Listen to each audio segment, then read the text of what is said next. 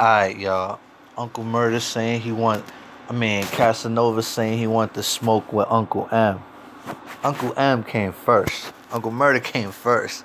I don't know if y'all know that. He, he paved the way for this gangster shit in Brooklyn. Hold on. They say Uncle Murda like the, the Brooklyn 50 Cent.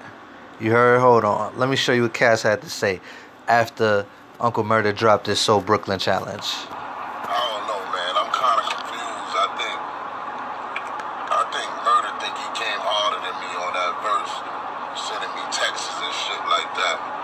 I don't know, man. I'm like, like, like I, want, I want, I want y'all to like, like paint this picture for me. Like, do, do Murda, do Murda really want to like battle me? Do y'all want to see that? Cause I think, I think I, I, I chew that nigga up, man. Straight up, like. I think I think we should do a So Brooklyn challenge, just me and him. You know, for bragging rights. I think so, cause I think he think he can fuck with me, man. Like,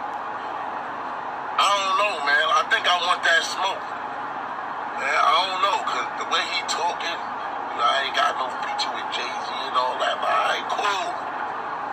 I, I give you that action though. I think I think I think it's about time,